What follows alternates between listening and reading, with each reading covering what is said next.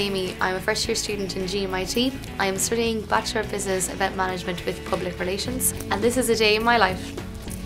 I'd usually begin my day by, if I my lectures around 9 o'clock, I might get up around half 8. I'm lucky enough to be living right across the road um, from, the, from the Dublin Road campus where most of my lectures would be on. The accommodation is so close, it's literally right across the road.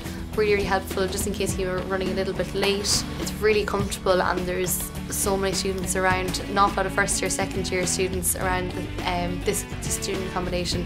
So there's an awful lot of people in similar situation to myself and um, similar age group. So as I said, it's only a, a three minute walk from my house over to the Dublin Road campus, straight into my lecture hall. It takes in a total about five minutes depending on what side of the campus it's on. Um, but it's usually, I'm usually there within five to ten, minutes sitting, sitting in my seat. In GMIT we're blessed because the numbers aren't massive. We have nice number of classes, they're small intimate classes but we also would have lectures and tutorials. And the best thing about this is that we actually have the same lecturer in contact within the lecture or the tutorial. So you're always in contact with the same person and that you get to know them on a first name basis and they get to know you on a first name basis.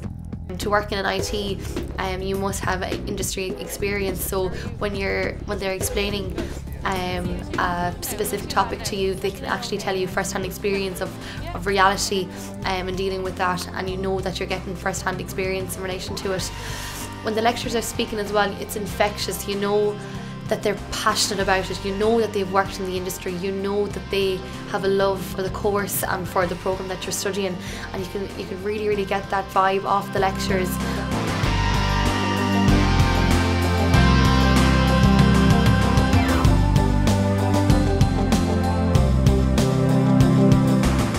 GMIT, we are a bit unique as we have five campuses.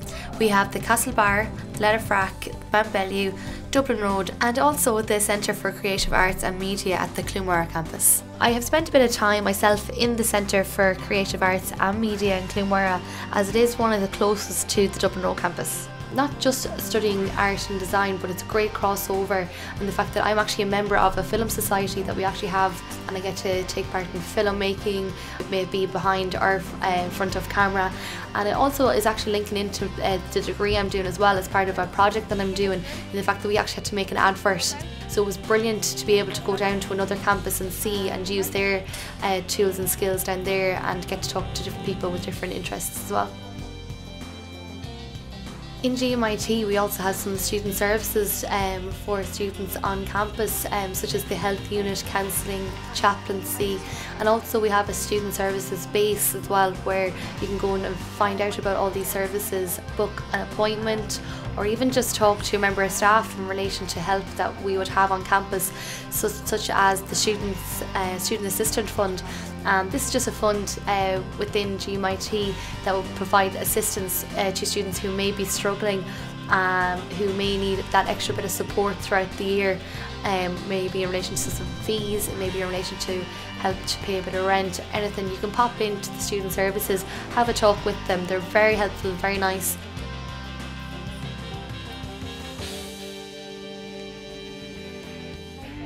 Students' Union is a great place to get some extra information, like grants, accommodation, and even some general um, advice.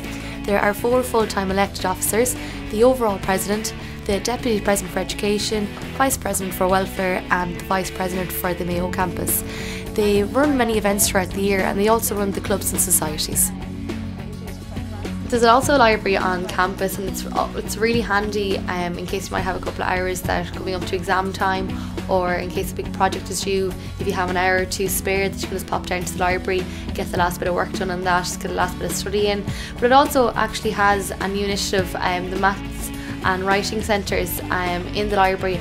This is so helpful in the fact that if you're struggling with maths, whether it be a business course, engineering course, science course, it doesn't matter. Um, if you're struggling with any sort of maths, that you can pop in here and they can give you a quick hand. Or also they have a writing centre as well and this is really good for any first year students in the fact that we will be writing an awful lot of reports or in different kind of style of writing compared to secondary school so it really helps with the transition in relation to third level. GMIT is also one of the only institutes uh, with the pass system in place for first years. This is a fantastic initiative for the fact that Um, we meet once a week um, with students who will be either in second, third, fourth, fourth year of our course, and we get to talk to them about what to expect. They can give us a hand in relation to dealing with certain lectures, dealing with certain um, exams, and also some CAs. First year can be a bit scary, but PASS has really helped me um, with making new friends, getting to know more people, even getting to know more people in my class, and also outside of the class as well. Um, I find that I'm in regular contact with um, students from the past, as in the PASS leaders.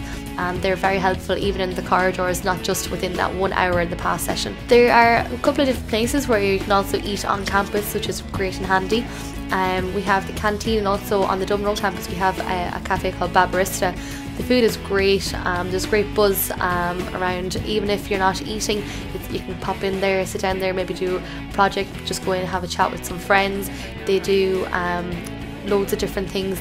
They even do dinners in the evening time as well. So in case you are stuck in the in the library even in, in the evening time, you can just pop down to the canteen, have a bit of food, and go on back up and keep on continuing with your studies.